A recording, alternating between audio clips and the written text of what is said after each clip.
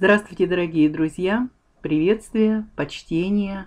Рада, что мы с вами идем по этому пути вместе. Декабрь месяц – это последний месяц этого года. Безусловно, нам интересно, как мы закончим этот год. Можно, конечно, не привязываться никаким числам и никаким датам. А можно просто рассмотреть даже одну цифру – 2017. Это десятка – сумме.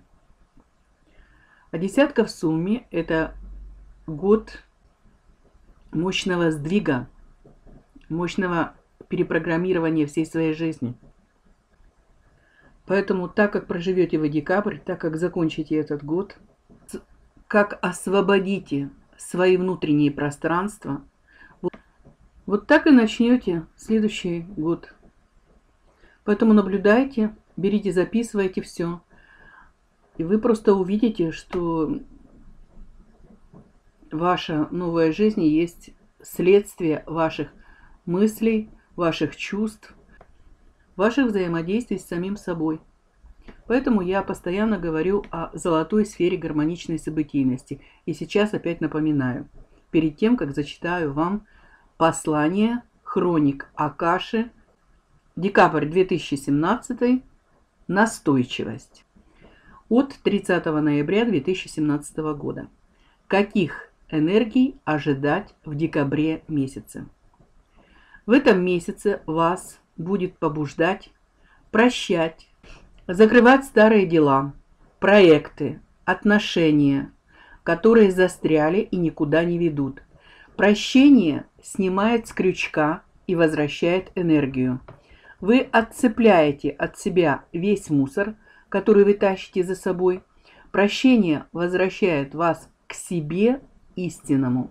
И речь идет не только о прощении других, сколько о прощении себя. Будьте снисходительны к себе. Прощение не приходит легко. Чтобы всплыть на поверхность из темной глубины, вам потребуются силы и настойчивость. Но приходящий 2000 18 год будет очень консервативным. В нем сложно будет двигаться быстро. Поэтому если вам есть что оставить позади, в старом году лучше начинайте делать это прямо сейчас. В этом месяце придут энергии острые, как нож.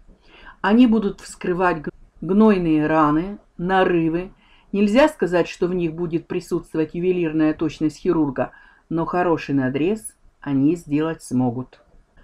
Поэтому не удивляйтесь, если в этом месяце что-то вскроется. Обнажится до кости. Это не значит, что что-то двинется вперед к своему разрешению как бы само собой. Вам придется потрудиться, если вы хотите, чтобы ситуация разрешилась. Будет сделан надрез – а что вы с этим будете делать дальше, это уж ваша забота. Приготовьтесь к эмоциям и переживаниям. Лучше в них не впадать, а наблюдать, что происходит. Сохранить присутствие духа вам помогут близкие люди. И опять-таки вам потребуется настойчивость, чтобы сделать все как надо, очистить рану и ее заживить. В этом месяце будет присутствовать некая обособленность. Вроде бы вы будете среди людей, но можете чувствовать себя одиноко. Это потому, что внутри вас будет происходить работа прием информации. Не факт, что вы ее осознаете сразу, но какая-то ее часть придет в виде понимания или озарения, пусть даже маленького и незначительного по вашим меркам. Эта информация призвана дать вам больше понимания о том, что происходит на Земле, прояснить ваше место в этом мире. Конечно, вам также будет дана информация, которая относится и к вашим личным делам, если вы ее запросите сами. Но в основном это будет информация, которая касается мира. Что хорошо делать в декабре 2017 года? Вопрос. Ответ раскрыться тому, что приходит. Информации будет много. Не вся она вам нужна, но вы и всю ее не воспримете. В этом месяце лучше быть гибким и не осуждающим. Не оценивайте события с точки зрения хорошо-плохо. Оценивайте, куда это повернет ваш бизнес, отношения, проект, жизнь. И что можно сделать, чтобы усилить или наоборот минимизировать эти последствия? Хотя лучше усилить, потому что противостояние может все поломать. По крайней мере, постарайтесь быть нейтральным в принятии решений. Смотрите на ситуацию со стороны или как бы сверху. И после этого экскурса что-то решайте. Закрывайте то, что можно закрыть. Дела, проекты, ненужные связи. Очищайте свое внутреннее пространство. Планируйте следующий год, но осторожно. Щупайте будущее. Постарайтесь увидеть пространство того, куда вы хотите попасть благодаря своим планам. Что еще хотят передать хранители о декабре 2017 года? Настаивайте на своем, если вы чувствуете, что правы. Это поможет вам сконцентрироваться, собраться, понять, за что вы выступаете и стоите. Это поможет обозначить свою позицию, четче проступить в этом мире как личности. Любите и берегите себя. И не потому, что зима близко, а потому что вы еще не раскрылись в полной мере. Не сделали все то, что хотите сделать. Не исполнили свои мечты и не сотворили новых. Жизнь очень интересна, поэтому живите и процветайте. Данное послание от хроник Акаши было принято Шайн. Такой прогноз на декабрь. Можно даже коротко выписать основные слова ключевые. Что мы можем с вами привлечь? Сегодня второе число. Можем привлечь э, вибрации числа 22, энергия Будды. Это кристалл Эна, прощение. Осознай все, что происходило до сих пор в твоей жизни, послужило только для твоего дальнейшего роста. Представь своему взору каждое событие по отдельности. Откажись от каких-либо суждений и мысленно – пошли Анна наша и Эна. Прими прощение, прости прежде всего самого себя. В действительности не существует понятия вины или греха.